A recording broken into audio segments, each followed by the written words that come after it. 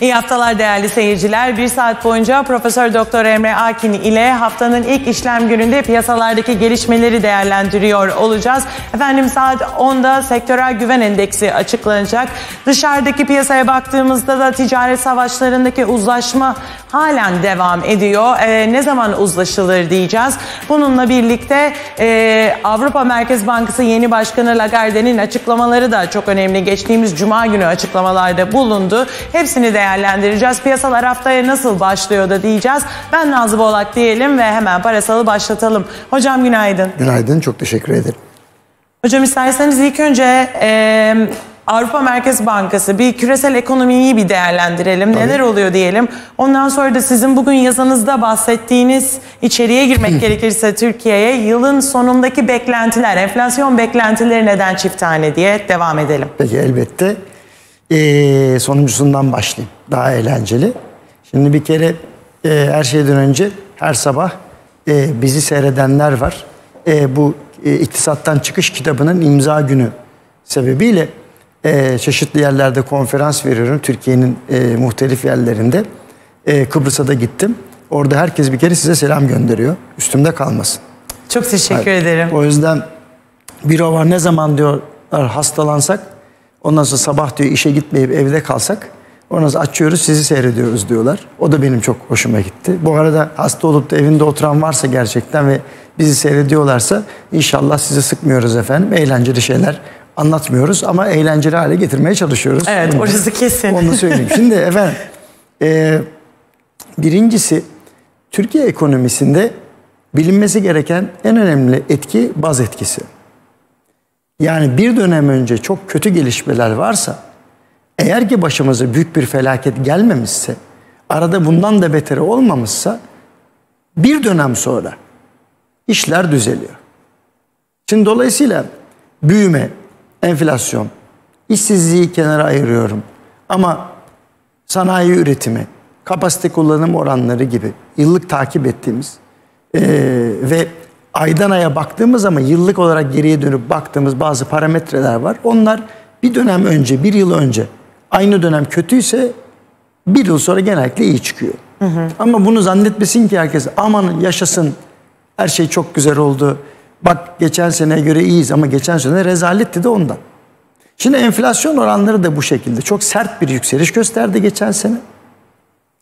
Yavaş yavaş hızı düşmeye başladı. Evet. Fakat geçen sene hızının tekrar arttığı zamanlar var. İşte tam bu dizine rast geldi şimdi. Dolayısıyla 12 aylık dizini koyduğunuz zaman bu 12 ayın içinde sürekli pozitif rakam varsa düşük çıkma ihtimali azalıyor. Buna biz buna baz etkisi diyoruz. Arada eksi rakamlar varsa bakın oh diyorsunuz eksiler var. Eksiler onu biraz geriye çekiyor ama bu sefer 2020 yılında sürekli 12 aylık dizinde pozitif çıkmış enflasyon oranları olduğunu unutmayalım. Bak ne kadar basit anlattım. Pozitif rakamları toplayınca pozitif bir şey çıkıyor. Ben ne yapayım? Doğru. Yapacak hiçbir şey yok. Dolayısıyla bu değerlendirmede enflasyon oranlarını düşmesi fiyatların gerilemesi anlamına gelmiyor. Biz şöyle diyeyim size 22 aydır %39 enflasyonla yaşıyoruz. Çünkü bir yıl önce %30'a yakın enflasyon vardı. Onun üstüne de %8-9 geldi. Yani şunu zannetmesinler. Geçen sene enflasyon çok yüksekti, şimdi geriledi. Geriliyor ama gerilemesi hızının yavaşlaması anlamına geliyor. Yani domatesi efendim 7 liraya alıyorduk da 5 liraya düştü diye iddiada değil TÜİK. Ben de dilimde tüy bitti. TÜİK başkanı bunu bir lisan-ı münasiple vatandaşa anlatsın. Enflasyonun düşüşü demek fiyatların artış hızı düştü demek. Ayrıyeten tabii bu rakamlarla alakalı çok tartışma var ama yani şunu desek iyi olur. Bizim geçen senenin Ocak ayından bu senenin Ekim ayına kadar toplam enflasyonumuz %38 civarında. İşte bu kadar basit. Yani az buz değil ha bu %38 iyi rakam. Kimsenin ben zannetmiyorum 2018 Ocağı'ndan şu Kasım ayının başına kadar geliri falan %40 artmadı. Artmayınca tabii bir yandan fiyatlar yukarı gitmeye devam ediyor hızı azalsa da ama insanların geliri o kadar artmıyor. Şimdi soralım. Memurlardan profesyonellere şeyden e, atıyorum bir spor salonu işleten hanımefendi beyefendilerden diyelim ki taksici kardeşimize kadar. Hiç gelirini yüzde 40 arttıran var mı? 22 ay boyunca. Yok. Tabii yüzde 40 artmıyor ama fiyatlar yüzde 40 arttı kümülatif olarak. Yani insanların isyan etmesi doğal ama enflasyon düşüyor demek fiyatlar geriledi demek değil. Bunu da birisinin çıkıp anlatması gerekiyordu. Kimse Artış- anlatmadı. İş bize kaldı. Artış hızı Artış hızı düştü demek. Enflasyon eksiye düşebilir ama öyle bir durum yok Türkiye'de. Biz eksi enflasyon falan yaşamadık ki. Aylık bazen şans eseri oluyor. Geçen senenin Ekim-Kasım aylarında olduğu gibi. Şimdi biz yeni bir dizine girdik. Aralık dizinine. Bütün rakamlar pozitif. Dolayısıyla tekrar çift taneye dönecek zaten. Ancak OECD raporu bir tuhaflıktan bahsediyor. Hala 12 aylık 2019 rakamını %15'te tutmuş. Nasıl olacak ya kardeşim? Sen de biraz matematikle ilgilen. Yani uluslararası kuruluşların yazdığı her rapor da doğru değil. %15 nasıl olacak burada? Yani öyle yüksek enflasyonlar çıkması lazım Kasım Aralık'ta öyle olsun. O da çok mümkün gözükmüyor. Takip ediyoruz. O yüzden dediğim gibi %11 ile %12,5 arasında bir enflasyonla tamamlayacağız. Bu da zaten hedeflere uygun gidiyor. Ama bazı YEP hedeflerinin uzağındayız. Onu söyleyeyim. Mesela faiz dışı açıktı bilmem neydi vesaire de onu ayrıca konuşuruz. Hocam e, sizden dünden beri bana gelen mesajlarda sizden bir piyasa değerlendirmesi isteniliyor. Özellikle o yüzden e, biraz önce de açılışta konuyu direkt piyasa değerlendirmesiyle bağladım. Çünkü dolar şimdi e, bir düşüş seyrinde. Bunu açıklayabilir misiniz? Tabii şimdi eee, herkes bana aynı şeyi soruyor. Diyor ki ya hocam şu ana kadar doların fırlayıp gitmesi lazımdı. Gidemez. Niye gidemez? Çünkü insanlar çok yüksek seviyelerden hem de efektif bir şekilde bu doları almış. Yani fiziki dolar almış. Öyle bankadaki TL mevduatını dövize çevirmeyi demiyorum. O zaten döviz endeksi Türk lirası demek o. Ne, ne olacak o? Bankadaki parayı dövize çevirdiğinde döviz yükselmiyor. Yani efektif olarak alırsam belki. Şimdi dolayısıyla eee, herkes çok yüksek seviyelerden almış ve yükselsin de satayım diye bekliyor. Ama dediğin gibi çok büyük bir panik lazım ki döviz kurlarının 6 liranın üzerine çıkması için. Yani insanlar diyecek ki borcumu harcımı bile ödemeyeceğim. Elimdeki TL ile gideceğim dolar alacağım falan demesi lazım. E öyle bir durum da yok. Sene sonu geldi zaten ortalık yatıştı. Ondan sonra iç siyasette böyle tuhaf tuhaf dedikodular haricinde anormal bir şey yok. Erken seçim lafı ortaya atıldı. Geçen hafta tartıştık. Ondan sonra bir açıklama gelmiş. Onu da tam anlamadım. Efendim erken seçim normalde kanunen yok. Ona seçimlerin öne alınması diyoruz. E tamam işte o oluyor zaten. Yani halk arasında biz ona erken seçim diyoruz yani. Hani yani Ankara'dan gelen açıklamaların da içi dolu değil yani. Yani efendim kanun- Seçimlerin öne Ha, alınması. e, tamam zaten o, o, o demek o. Yani seçimlerin öne alınması erken seçim demek yani. Ona kanunen öyle bir laf yokmuş. Hani öyle bir laf yok diye biz erken seçim demeyecek biz. Erken seçim işte canım. Yani bir sürü deyim var halk arasında değil mi? Ondan sonra illa onun kanuni karşılığı olmasına gerek yok.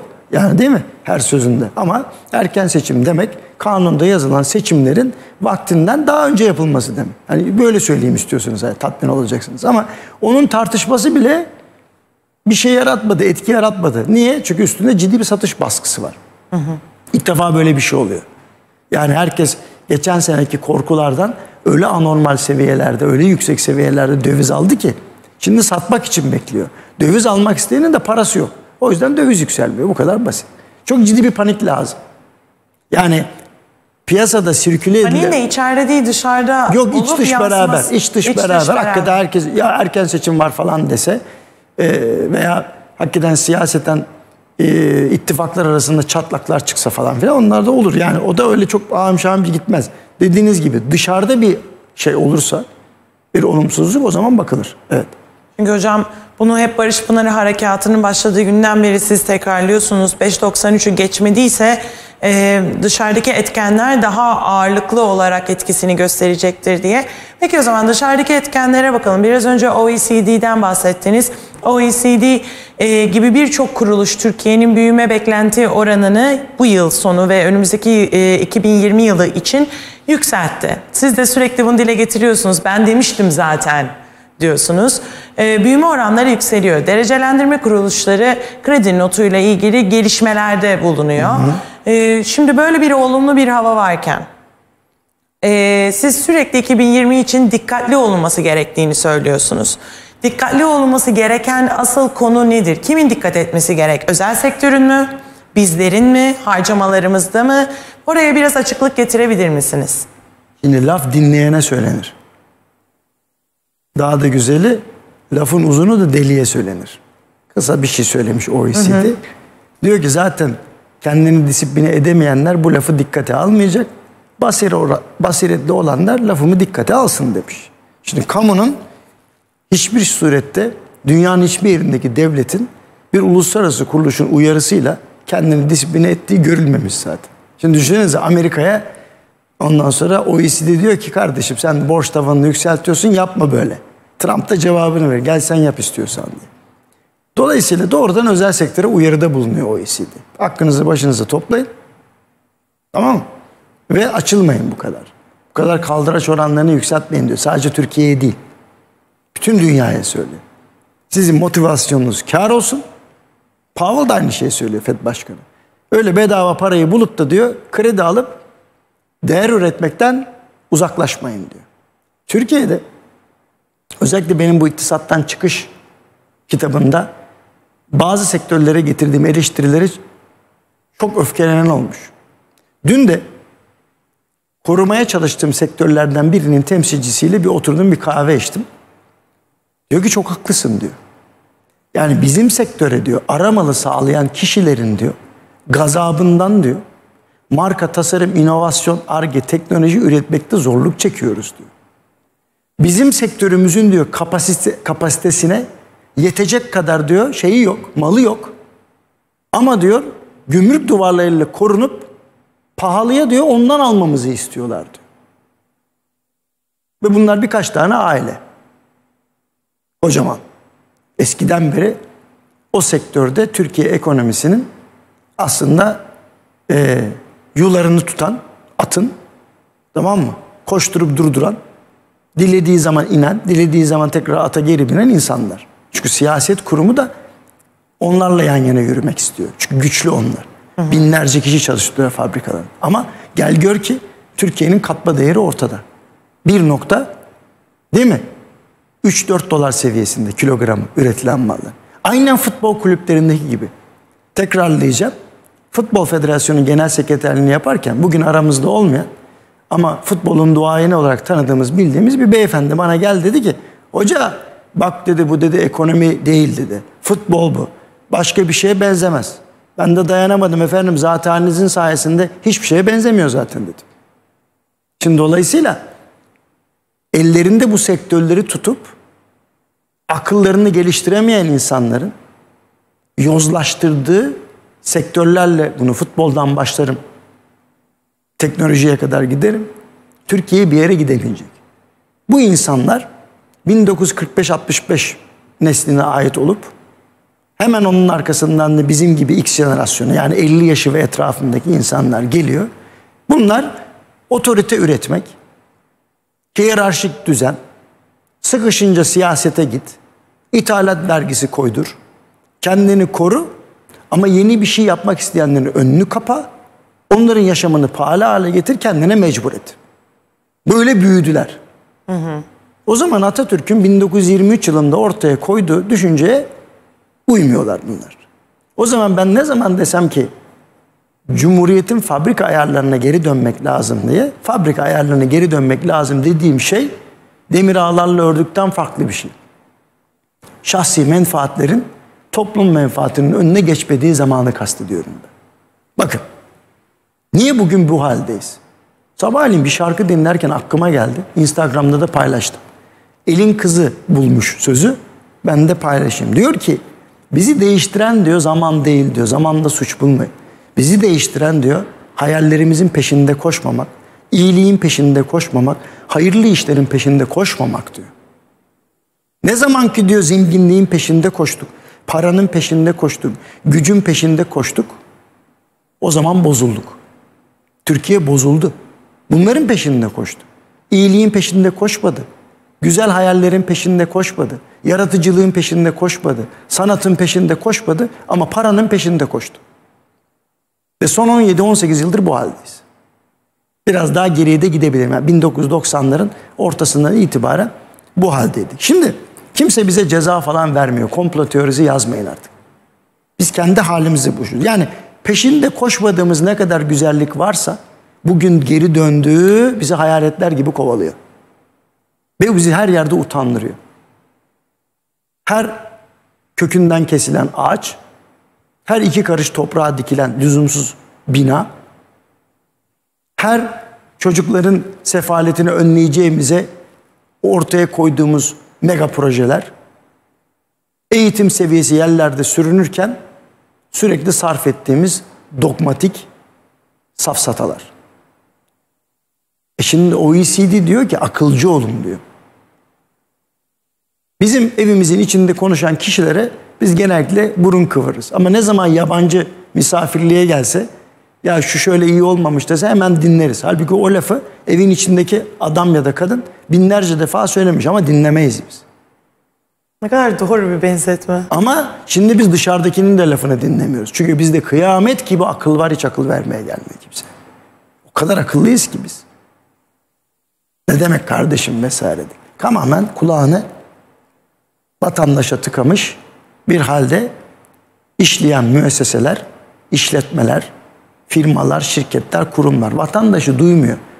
Piyasayı duymayan ancak yapsatçı olur. Piyasayı duymayan siyaset, piyasayı duymayan işletme diyor ne koyuyorsak zaten diyor alıyorlar. Bak ürettik yine aldılar tezgahın üstünden. Yok öyle bir şey ya almıyor da.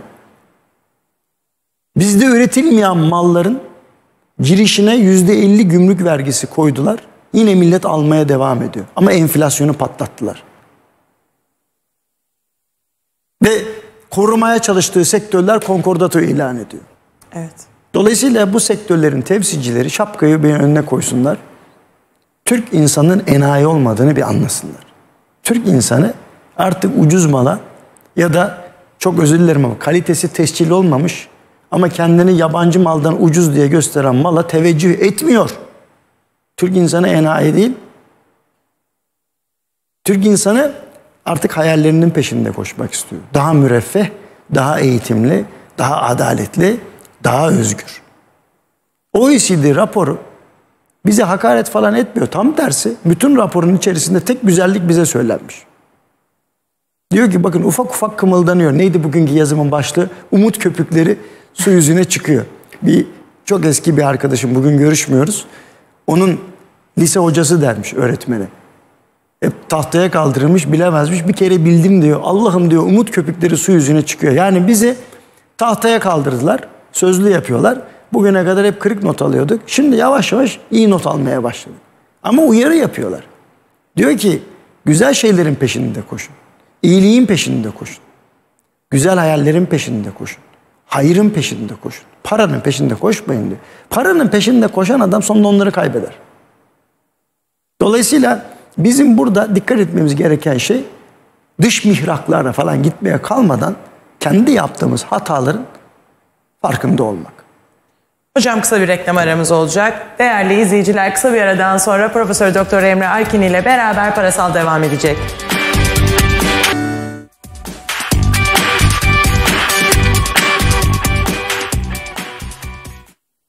Parasal devam ediyor diyelim. Hocam şimdi sizin bu anlattıklarınıza ben de bir e, soru ve örnekle Buyurun devam efendim. etmek istiyorum Buyurun. izninizle. Buyurun efendim. Geçtiğimiz hafta e, Triko Sanayicileri Derneği Başkanı Mustafa Balkov konuğumdu. Çok önemli bir konuya değindi. Ben ona açık açık sordum. Tekstile neye ihtiyaç var? Konu nedir? Çünkü sürekli devlete buradan ça- e, çağrı yapıyorum, çağrı yapıyorum dedi. Peki asıl çağrının sebebi nedir diye sordum.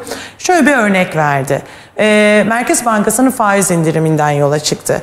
Dedi ki Merkez Bankası faizi indirdi. Bu indirim konut, e, inşaat, e, e, otomotiv sektörüne çok yaradı. Ancak bizde şöyle bir sıkıntı var dedi. Sanayicilere yaramıyor dedi. Biz dedi bir sanayici olarak merke, e, özür dilerim bankalara gittiğimiz zaman kredi faiz oranları e, kendi fabrikamıza alacağımız bir makine için e, istediğimizde o krediyi kredi faiz oranları halen çok yüksek. Hı. Ama gidip ben araba almak istiyorum desem aynı bankada aynı kredi için e, o zaman ben daha uygun bir faiz oranıyla o aracı alabilmem için bana uygun atmosferi sağlıyorlar dedi. E, burada o zaman şöyle sorayım soruyu siz bu konuyu nasıl değerlendiriyorsunuz diyeyim. En güvenilir soru bu. Şimdi ağır olacak. Herkes hazır olsun. O yüzden nasıl değerlendiriyorsunuz evet. diyerek sustum. Ben saygıdeğer başkanın, üstadın nezdinde bir şey söylemek istemiyorum. Odalar Birliği'ndeki meslek komitelerinden, Odalar Birliği Yönetim Kurulu üyelerinden başlarım. Sayın Cumhurbaşkanı ile rahat rahat görüşebilen tüm sektör temsilcilerine kadar giderim. Bu zamana kadar ben hatırlıyorum yani 2000'li yılların başında hatta 1990'lardan beri hep aynı şikayet dile getiriliyor. Peki bununla alakalı olarak birbirinizi niye ikna edemiyorsunuz? Yani trikocular sonuçta nihai mal üretiyorlar. Hı hı. Nihai malı veren birileri var. Yani ara malını veren birileri var ki bu arkadaşlar nihai malı üretsinler. Şimdi ben gözümle gördüm birkaç yıl önce bir saygıdeğer eski bakanın Türkiye için yaptığı çok büyük bir işi, çok büyük bir iyiliği taltif etmek amacıyla ona güzel bir ödül vermek amacıyla Türkiye'nin en büyük sanayi şehirlerinden bir tanesini ziyarette bulunduk. Ben de moderatörüm. İki tane sektör yan yana iki odada toplantı yapıyor. Hı hı. Bir tanesi nihai malı üreten, öbürü de ona ara malını veren sektör. Ayrı yerlerde. Nihai malı üreten sektörün dertleri tavan yapmış ama en yüksek katma değeri onlar yaratıyor. Çünkü bütün dünyaya bunu ihraç ediyorlar. Evet. Onlar dükkanlar açmışlar yurt dışında vesaire. Hatta onlara demişler ki yurt dışında gelen ham maddeyi burada kullanacaksan sana bir de mezalim uygulayacağız diyorlar. Yan taraftakiler de tamamen bunun ham maddesini ve aramalını veriyor. Onların da derdi başka. Acaba nasıl korunuruz? Efendim orada bir falanca şehirdeki sanayi odası başkanı olmuş ya da ticaret odası başkanı hiç kendisiyle alakalı olmayan bir sektör için bakandan nasıl ithalat vergisi isteriz? Niye? Çünkü onu isteyince oylar ona doğru gelecek. O da seçilecek. Ve korudukları bütün sektör, çünkü bunlar bir de büyük adamlar. Yani siyasete de doğrudan doğruya etkide bulunuyorlar. Yani ne kadar aramalı ham madde falan veren bu büyük ailelerin temsilcileri bir de etkililer siyasetin üzerinde. Enteresan bir şekilde. Şimdi yan taraf kıvranıyor. Marka tasarım, inovasyon, arge teknoloji, dijital değişim vesaire bunları konuşuyor. Ve diyor ki bize diyor verilen diyor Türk Türk malı diyor aramalı ve ham madde bize yetmiyor diyor bizim üretimimize. Ama diyor bizi sürekli mecbur ediyorlar ve kapasiteleri yetmeyen bu insanlar diyor yan odadaki bizi sürekli diyor zorluyorlar diyor. Ben de gittim dedim böyle böyle. Olur mu hocam dedi. Ne yapayım ben dedi. 2000 dedi kişiyi dedi sokağa mı salayım? Fabrikamı mı kapatayım? Ya dedim çözüm bu mu ya? Yani zaten 2000 kişi niye çalıştırıyorsun fabrikanda? Kaldım öyle bir şey dedim. Demek ki senin dedim teknolojin falan eski. Yani dünyaya cep telefonu üreten fabrikalarda bile toplasan bin kişi falan çalışıyor. Sen ne yapıyorsun ki 2000 kişi çalıştırıyorsun? 3000 kişi.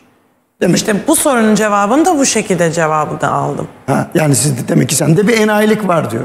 Yani sen demek teknolojini değiştirmemişsin vesaire. Yani bazı sektörlerin hı hı. büyük adamlarının ya da kadınlarının ayakta kalması için tamamen verimsizliğe ve maliyet yükseltmeye doğru giden anlamsız maliyet yükseltmeye doğru giden bir model uyguluyoruz. Niye onlar yaşasın diye. Çünkü onlar yaşayınca siyaset ayakta duracağını zannediyor.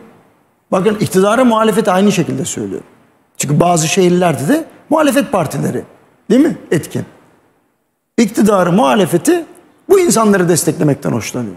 E tamam da gerçekten Türkiye'ye katma değer yaratacak olan sektörler öbür tarafta yani onlar da var olsun tabi. Ham madde aramalı üretenler de var olsun. Onların da katma değeri yüksek ama böyle gitmez bu iş.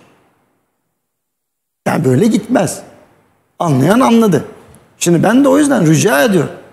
Ankara'ya gidildiğinde sayın bakanlardan bir şey rica edildiğinde ya doğru şeyleri isteyin. Hep rakibimi ez, dışarıdan gelen mala hiç burada üretilmese de vergi koy.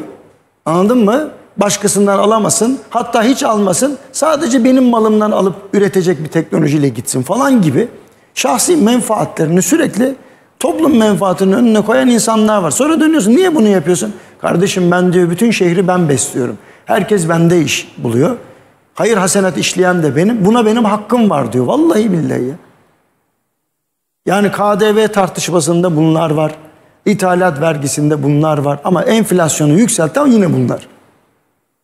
Şimdi ben bunu söylediğim için kalpleri kırılmış. Kırılmasın arkadaş sizin kırıp döktüğünüzü yerden tavana herkes biliyor. Şimdi herkes şapkayı önüne koysun. Türkiye katma değer yaratacak olan sektörler hangisi? Ve kar edemeyen sektörlerin öyle teşvikle efendim fazla istihdam yapmışsın sana iki puan düşük faizle vesaire falan ayakta kalmalarına imkan yok ölecekler hepsi hepsi silinecek. Siyaseti arkalarına alıp suni teneffüste yaşamaya çalışıyorlar. Yaşayamayacaklar. Katma değerini ihracatının değerini 5 dolar kilogramdan yukarıya çıkarmayan herkes gelecekte büyük sıkıntı altında. Çimentoyu falan kastetmiyorum. O başka. Onlar zaten kilogram değeri düşük. Ama bahsettiğim sektörlerin tamamında kilogram değeri yukarı çıkmazsa hepsi birden yok olacak. Ama hocam burada da işte de, yine dönüp dolaşıp aynı e, soruya geliyorum. Burada da ben bu soruyu aynen sizin sorduğunuz gibi sorduğumda aldığım cevap şu oldu. Bankalar yeteri kadar bize destek olmuyor. Ben o katma değeri yüksek ürünü üretmek için almam gereken ekipmanın maliyetini faiz oranından dolayı Tabii. düşüremiyorum. E, diyor. tamam çünkü şey var öbür o ana ana ana malını ve ham madde üreten sektörlerin keyfi yerinde. E asıl cefayı çeken sermayesi çok küçük ama büyük işler başarmaya çalışan o sektörlerde onlara da müsaade edilmiyor. Bakın bu memlekette koruyup kullanan 3 4 önemli sektör var. Bunlardan bir tanesi inşaattır. Niye? Türkiye demir çelik memleketidir. Ama demir çeliğin fiyatı arttı mı ithalat serbest bırakılır. Tamam mı? Enteresan. Anladım. Yani birinci en önemli korunan. İkincisi en önemli korunan sektörüne bakılmaksızın siyaset üzerinde bugüne kadar bundan önceki devirlerde de yani 70'lerden 80'lerden beri siyaset üzerinde etkili egemen olmuş ailelerin şirketleridir. Onlar korunur, kullanır. Tamam mı? Bir de futbol kullanır lüzumsuz bir şekilde. Üçüncü sektör yani futbol. Yani bu kadar para başka bir yere harcansaydı daha enteresan şeyler olabilirdi. Şimdi bana diyorlar ki kardeşim işte bizim üç tane büyük takım hadi dört olsun. Onların diyor marka değeri. Ya hangi marka değeri ya? Ne, ne yaptılar yani? Eski başarılarla övünen ondan sonra bir hale geldik. Şampiyonlar Ligi'nde yokuz. Bizim vay dediğimiz transfer paraları Avrupa için leblebi nohut hale gelmiş. Çünkü devalüasyon yemişiz şiddetli bir şekilde. Değil mi? Ondan sonra ayağını yorganına göre uzatmayan başkanlar ortalığı düzeltmeye gelip ondan sonra şey olmaya çalışan, imparator olmak isteyenler daha sayı mi? Yani o yüzden korunup kullanan sektörler var ve bunlar verimsizliğe götürüyor Türkiye. O yüzden trikocular dahil nihai mal üreten insanların tamamı büyük acı çekiyor. Ve ısrarla yollarına devam etmek istiyorlar ama kolay bir iş değil bu. Hı hı. Çünkü devletin görevi mal ve hizmet üretenin maliyetini düşünmek için altyapı yatırımı yapmaktır. E yapmıyor ki devlet uzun bir zamandır. Yok yani. Bana son zamanlarda kazması vurulmuş, temeli atılmış bir fabrika söyle. E yapmaz kimse. Kimse kapasitesini arttırmak istemiyor. Çünkü maliyetler çok yüksek Türkiye'de. E bu maliyetlerin altında eziliyor insanlar. Ve yani siyaset kurumuna gidip talepte bulunan bu aileler de hep kendi menfaatlerini istiyorlar. Toplumun menfaatine bir şey istemiyor. Mesela daha fazla adalet istemiyor. Daha fazla özgürlük istemiyor. Özgürlük kendine istiyor, adaleti kendine istiyor. Eğitimde de bakarız ona diyor. E bütün iş dünyasını temsil edenler her her seçimin sonunda şimdi ekonomi zamanı diyor. Ya sen ekonomiyi istemesene sen daha fazla adalet iste, daha fazla özgürlük iste, daha fazla eğitim iste. Zaten senin işin düzelecek. Hı hı. Ama olmaz. O ilk önce şahsi menfaatini isteyecek. İşte falanca yerden bir şey alıyor da onun KDV'si düşer mi diye soracak. Ya da rakibinin KDV'sini yükseltecek. Kendisine mecbur edecek. Ondan sonra teknolojisini değiştirmediği için on binlerce insan çalıştıracak. Bunu iyi bir şey olduğunu zannedecek. Ondan sonra gidecek tekrar siyaset kurumundan onunla ilgili teşvik isteyecek. Ya sen kar et ilk önce. Sürekli KDV oranlarını değiştirmek isteyenler onlar. Sürekli 32 sayılı karar değiştiriyor. Bir de beğenmiyorlar. Çünkü tam da iyi bilmiyorlar ne istediklerini. Dolayısıyla idareden bir şey istiyorlar. Tamam diyor idare yazıyor. Aa biz bunu istememiştik. Hayır tam bunu istemiştin. Çünkü ne istediğini bilmiyorsun. Yedi kere sekiz kere mevzuatı değiştiriyorlar. Sonra suçu siyasete atıyorlar. Siyaset de sıkıldı artık onlardan. Biri soru soruyor. Aynı konuda dokuz ayrı cevap alıyor. Ne yapsın siyaset? Gözümle gördüm ben bunları. Bankacılıkla ilgili bile soru soruyorsun. Dört tane bankacılık duayeni bu 2001 krizinde oldu. Gözümün önünde oldu. Aynı konuda dört ayrı fikir belirtti. Nasıl? Şimdi ne yapsın icraatı yapan kişi? Diyor ki ya siz ya işinizi bilmiyorsunuz ya menfaatinizi seslendiriyorsunuz deyiver. İkisi de kötü. Dolayısıyla siyaset kurumundan işi bir şey isteyenler ya ne istediğini bilmiyor ya kendi menfaatini kolluyor. Menfaati kollamak kötü bir şey anlamda söylemiyorum bunu. Ama yanlış menfaati kolluyor. Kısa vadeli çözümler istiyor. Uzun, uzun vadeli, sorun sorunlarla yaratıyor. karşılaşıyor. Anladım. Yani Dolayısıyla mesela yeşil pasaport tamam. Hocam sektörel güven endeksi açıklandı. Heh, dinleyelim. Yeşil pasaportta unutmayalım tabii, oradan tabii. devam edeceğiz. Hizmet sektörü güven endeksi 91,3 oldu. Hemen okuyorum mevsim etkilerinden arındırılmış hizmet sektörü güven endeksi Ekim ayında 90,7 iken Kasım ayında %0,7 oranında artıyor Güzel. ve 91,3 oluyor. Umut köpükleri su yüzüne çıkıyor yavaş yavaş. Biraz acılı ama yavaş yavaş yavaş yavaş iyileşiyor. Yavaş yavaş iyileşiyor. Buradaki iyileşme aslında ben bu güven endekslerini çok seviyorum hocam. Kasım ayında Kasım ayının endeksi açıklanıyor. Akıl karışıklığı olmuyor.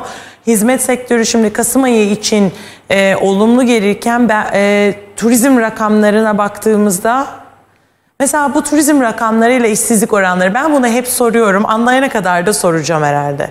İşsizlik neden yüksek geliyor Ağustos ayında da? Turizmde kazanılan, elde edilen gelir ona bağlantı olarak bağlantısız olarak çok yüksek geliyor. Şöyle bir şey. Demek ki e, bu işletmelerin sahipleri ortaya çıkan ciro ve e, efendim ortaya çıkan ekonomik etkiden memnunlar. Fakat bu memnuniyetleri bu yarattıkları kapasite daha az insanla eskisine göre daha az insanla gerçekleşmiş. İşte bu kadar basit. Yani öyle bakmak lazım bazı meselelere. Yani çok fazla insan çalıştırmıyor. Eskisine göre daha az insan çalıştırıyor. Verimli olmayı öğrenmiş. Lüzumsuz yere öyle katar katar insan çalıştırmıyor artık bu müesseseler.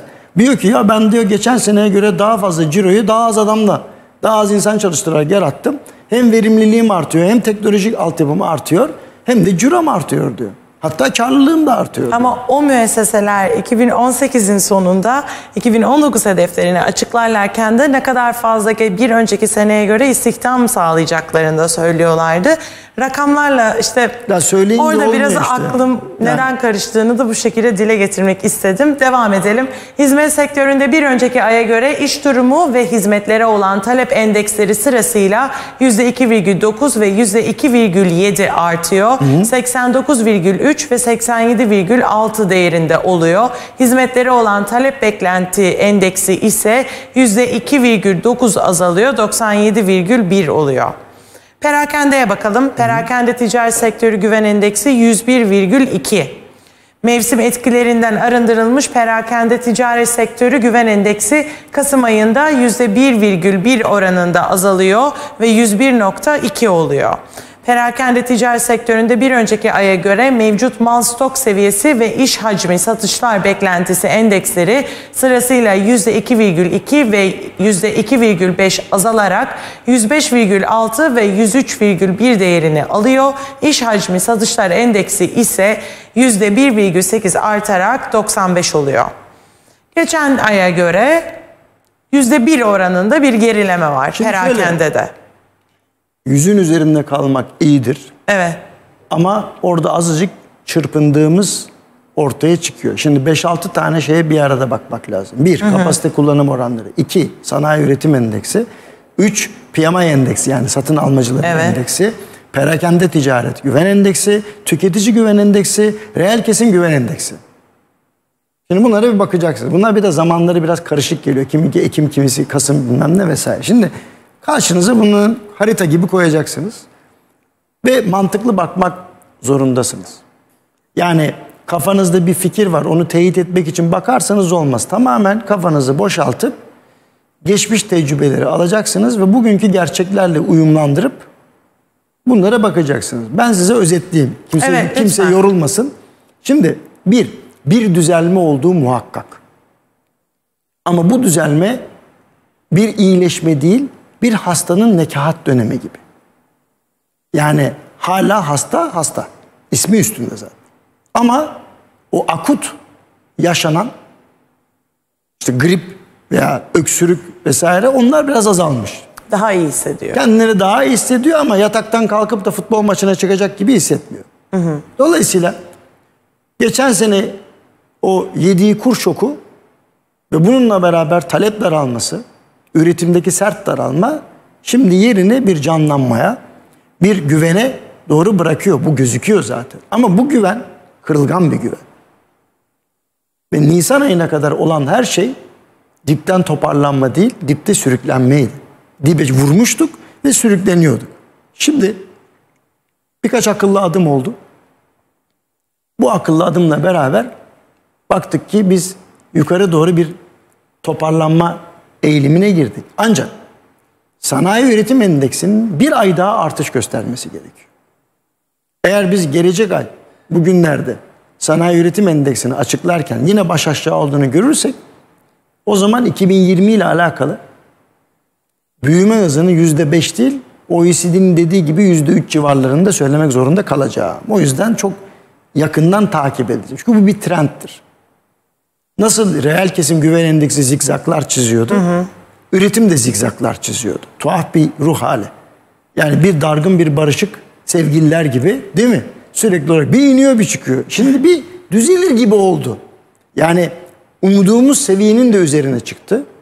Eylül ayında. Şimdi Ekim ayına ait olan sanayi üretim endeksinin tekrar yükseliş göstermesini arzu ediyoruz, bekliyoruz derken hani böyle olacak demiyorum. Bekliyoruz. Bakalım ne çıkacak. Ondan sonra ben burada canlı yayında dürüstçe paylaşacağım. Diyeceğim ki gelecek sene böyle şeyler olabilir ya da bunlar olabilirdi. İki adet senaryom olacak. Dolayısıyla şu an itibariyle bütün rakamlar acı verici de olsa bir iyileşmenin devam ettiğini gösteriyor. Yani hasta daha iyileşmedi. Nekaat dönemi daha bu. Dinlenmesi lazım. Çok da üstüne varmayacaksınız yani. Çünkü performansını arttıracak bir durumda değil. Ama geçen seneye göre daha iyi durumda. Geçen sene göre daha iyi durumda Tabii, diyorsunuz. Zigzaklardan bahsediyoruz. Ee, bu sanayi e, verilerinde, üretim endeksinde zaten buraya çıkıp o zigzagı hep basketbol topu örneğine benzetirdiniz. Peki e, bu arada size grafiği gösterebilmek için şu an rejiden de zaten sevgili seyirciler Peki. hazırlık yapılıyor. Hocam yeşil pasaporta bir nokta virgül koymuştuk. O konuya geri dönelim. Tamam. Geldiğinde biz tekrardan güven endeksiyle devam edelim. Şimdi yeşil pasaportu kime verirler? Yeşil pasaportu kamu görevlilerine verirler. Niye verirler? Çünkü ülkede kamu görevi yapıyordur. Kamu görevi yaptığı için de öyle memlekete tası tarağı toplayıp falan terk edip başka bir memlekete yerleşme durumu yok. Her zaman izi de bulunur zaten. Çünkü adı üstünde kamu görevlisi. Anca müsaadeyle falan çıkıyor. Şimdi kamu görevlisi değil ki iş insanları. Yani dolayısıyla Zaten vize ile ilgili sıkıntılarımız varken bu yeşil pasaportun ortaya çıkması aslında bizim vize anlaşmalarımızı esnetmeye yönelik bir davranış. Ama ihracatçıya bu kadar koşturan, bu kadar ağır yükün altında Türkiye'ye döviz kazandırmak zorunda kalan ihracatçıya bir güzellik yapılması gerekirdi. Yapılması gereken güzellik onların üretim maliyetini düşürmekti. Onlara şu ana kadar verilen destekler değil, daha farklı, daha çarpıcı, daha sıra dışı teşvikler vermek ve Türk dış politikasının vizeleri tamamen kaldıracak hale getirilmesiydi. Niye viz ya yani ayrıcalıklı sınıf yaratmaya çok meraklıyız.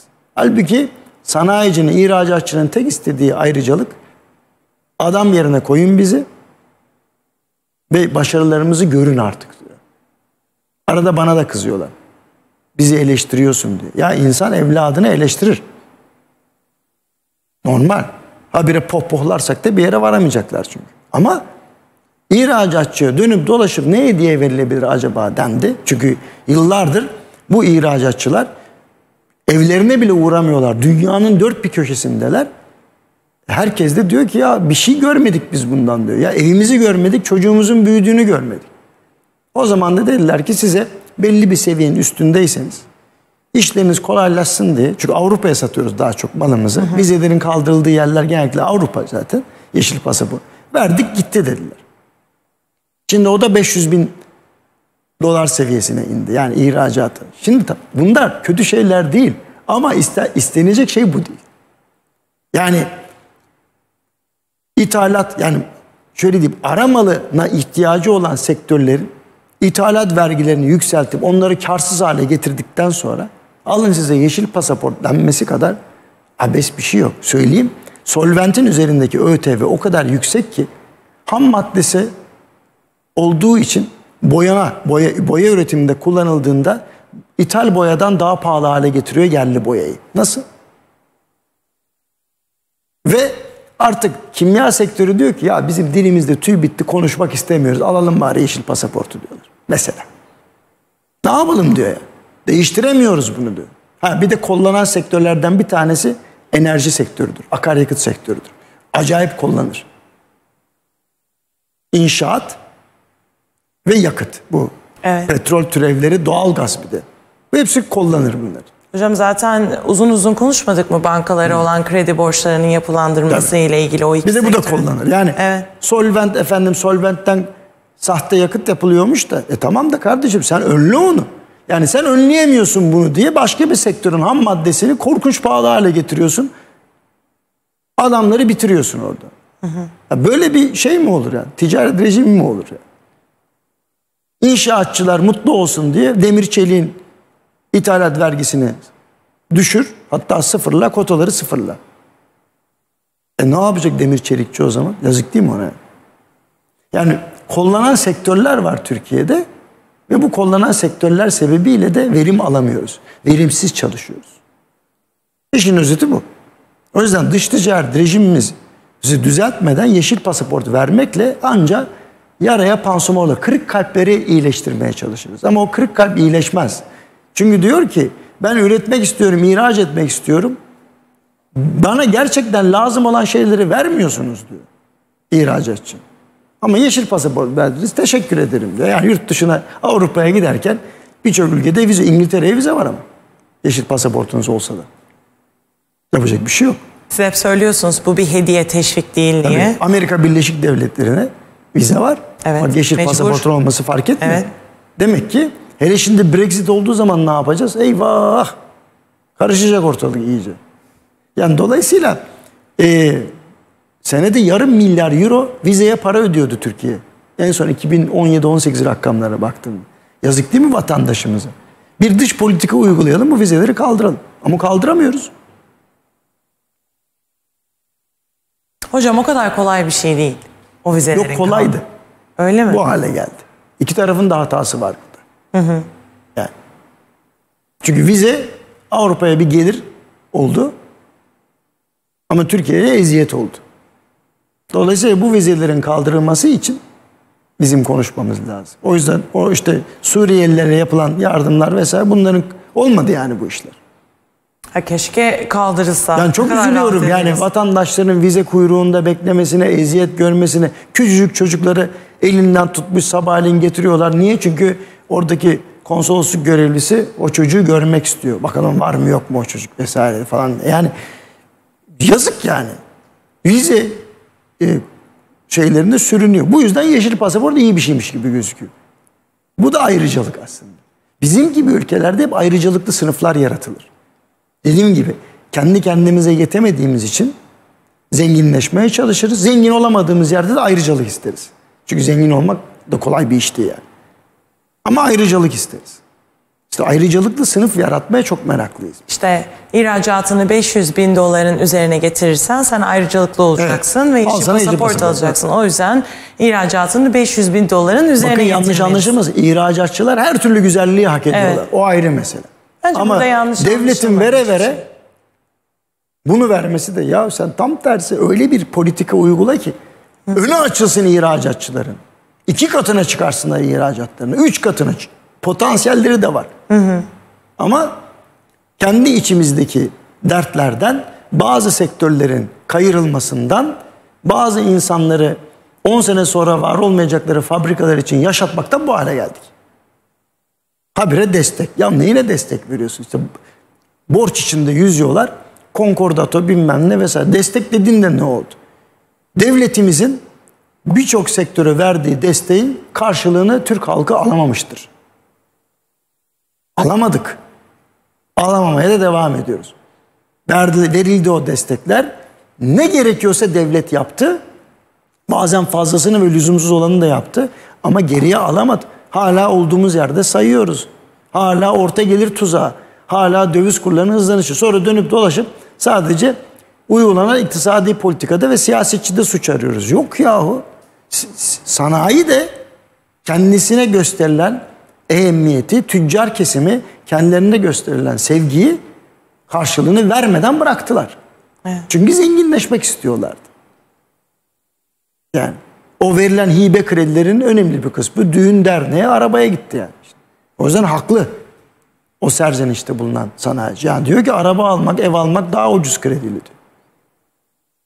Hem ucuz hem kolay diyor. Olmaz. Uğraş, uğraştırmıyor Tabii diyor. olmaz. Öbüründe tabii bankacı arkadaşımız bakacak edecek bilmem ne falan. O yüzden kamu bankalarındaki arkadaşlar müthiş çalışıyor. Bakın herkes kızıyor kamu bankalarına hiç kızmasınlar. Özel bankalardaki arkadaşlardan çok daha iyi çalışıyorlar. Çünkü birebir vatandaşın içindeler. Birebir efendim sanayinin içindeler. Ellerinden geleni yapıyorlar kaynak. O yüzden zaten birçok özel sektördeki iyi bankacı o kamu bankalarından çıkma.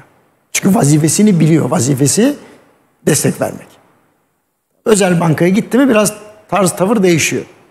Ama o kamu bankaları hakikaten büyük iş yapıyor.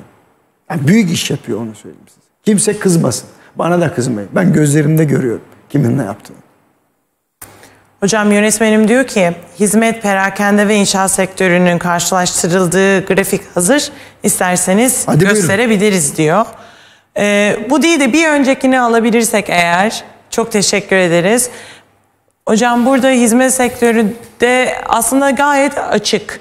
Burada inşaat sektöründe kıs- küçük bir iniş söz konusu. Perakende için dediniz yüzün üzerinde olması iyi bir şey dediniz. Perakendede de Doğru. yüzde bir oranında bir düşüş var.